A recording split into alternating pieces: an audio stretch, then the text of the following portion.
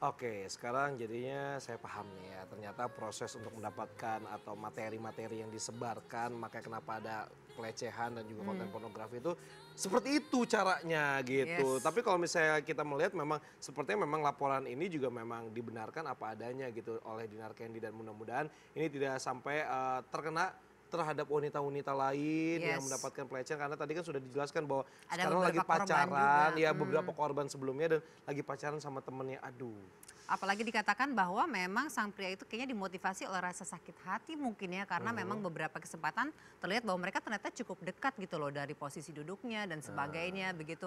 Ya sudahlah lagi-lagi seperti kata Fadi semoga ini tidak menimpa siapa pun lagi dan juga kasus ini bisa selesai ya. Tapi itu baru lima hari katanya kenal ya bisa sedekat itu ya. Hmm, Gitu. Kalau yang ini lebih lama lagi, empat bulan kenalan dan sepertinya akan langsung melaju ke pelaminan. Siapa sih? Siapa lagi yang lagi koleksi kan biasanya kan kemarin kan Vicky Nisasi, Vicky Prasetyo dia dikabarkan 24 kali ya menjalin kemudian gagal pernikahan. Oke. Nah ini sepertinya akan fix nih melamar seorang gadis yang baru dikenal selama empat bulan itu di hari ini.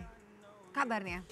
Lenatan mana? Siap-siap Lenatan kemarin yang liputan siapa ya? Rian Ibra mau liputan Ini serius? Ini kayak Sahila Hisham katanya akan dilamar oleh Vicky hari ini.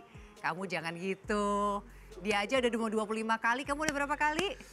Satu aja belum. Satu aja belum. Luar Yaudah, biasa, Vicky. Aku harus banyak belajar kamu dari Vicky. harus learn a lot ya, learn a lot and low liver juga. Kita Iya. lihat seperti apa persiapan dari seorang Vicky untuk melamar dan melamar dan melamar lagi. Ini dia.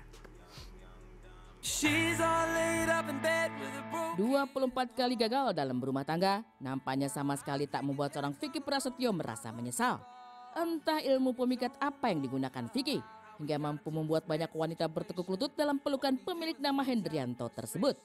Meski selama ini sudah banyak yang mengetahui sikap dan perangainya, namun nampaknya hal tersebut tak menjadi masalah bagi Vicky untuk menggait dan meluluhkan hati banyak wanita. Beberapa minggu ini, nama Vicky memang tengah menjadi perbincangan hangat masyarakat tanah air. Mantan suami dari Angel Elga tersebut digadang-gadang telah menemukan tambatan hati baru, yakni aktris cantik Sahila Hisham. Hari berganti hari, kabar tersebut pun nyatanya semakin mendekati kenyataan tatkala Vicky yang mengungkapkan akan segera melamar Sahila tepat pada hari ini. baik aja. Orang tanggal 20 kan acara lamaran aku. Jadi aku jalan ini ya fine aja, nggak ada masalah juga. Iya, Dan dia juga, ya aku sama keluarganya juga komunikasi, maksudnya eh, ya baik aja semua gitu. Nggak ada yang harus dikhawatirin gitu, karena persoalan kayak begitu doang gitu. Ya berjalan lancar, insya Allah mudah-mudahan keluarga aku juga udah pada tahu. Eh, lagi persiapan sih semuanya. Kan ditayangin eksklusif di salah satu program aku juga sama lah Transmedia Group juga. Nggak sih itu lebih kepada hikmat acara keluarga aja dulu. Kalau nanti dirayainin insya Allah lah nanti butuh bertahap lagi.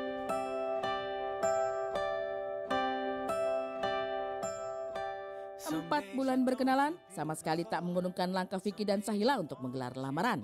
Tak peduli nyinyiran dan bisik-bisik negatif warganet yang dilontarkan padanya, yang terpenting, Vicky merasa Sahila merupakan sosok wanita yang tepat untuk dijadikan sebagai ibu bagi anak-anaknya. Terlebih, menurut pria yang terkenal dengan kontroversi hatinya tersebut, Sahila merupakan wanita yang dapat mengerti dan menerima Vicky beserta masa lalunya yang penuh dengan kontroversi. Karena hal tersebut, pertemuan dan pendekatan dengan waktu yang cukup singkat seakan tak menjadi berarti baginya untuk menginginkan Sahila menjadi istrinya. Bahkan mantan kekasih dari Saskia Gotik ini telah menetapkan pernikahan mereka yang akan berlangsung pada tahun 2020 mendatang. Saila itu nggak pernah menghakimi semua masa lalu orang lain gitu loh. Makanya dia itu belajar banget untuk menghargai satu kebaikan orang lain daripada membuang waktu hanya untuk membicarakan sembilan keburukan orang lain gitu. Dia itu ya bagus sih gitu. Terus eh, apa ya? Ya dalam hidup kita itu biarlah semua orang tahu segala tentang keburukan kita atau apa pun. Tapi kebaikan kita biarlah hanya Allah yang tahu gitu loh. aku. Mah pengen ya nikah sih tahun depan biar ada yang ngurusin tapi nggak tahu kan masih juga proses berjalan semua sih aku mau ngikutin perempuannya aja tahun kemarin aja aku dicoret-coret jadi si bis aja aku mau kalau aku mah apa ya aku mau mengapresiasikan apa yang aku bisa perjuangin buat pasangan aku ya aku lakukan Sweet baby,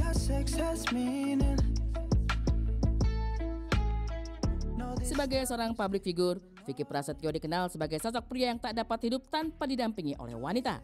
Belum lama berpisah dari satu wanita, seakan menjadi hal yang mudah bagi Vicky menemukan wanita lain untuk mengisi hari-harinya. Namun jalan tak selalu mulus. Sesekali Vicky harus menghadapi masalah dengan beberapa wanita yang pernah dekat dengannya. Sebut saja Anggia Chan. Wanita berprofesi sebagai penyanyi dangdut ini diketahui menaruh dendam pada Vicky yang dianggap telah memorotinya. Masa lalu biarlah tetap menjadi masa lalu. Hal itu mungkin sangatlah tepat jika menggambarkan maksud dari Vicky Prasetyo. Ya, meski hingga kini permasalahannya dengan Anggia Chan masih belum menemukan titik terang, Vicky mengungkapkan jika ia hanya ingin menatap masa depan dan mempersiapkan diri menjadi sosok suami idaman bagi Sahila Hisham. udahlah maksud aku nggak ada yang harus diperbesar juga gitu loh. Aku mah secara pribadi juga udah nggak ada yang harus dibahas lagi itu aja sih. Kalau fokus aja aku sama masa depan aja yang ada lah. Masa lalu yang akan menimbulkan efek-efek negatif ya udah masing-masing aja mah jalan hidupnya gitu loh maksud aku. Yeah,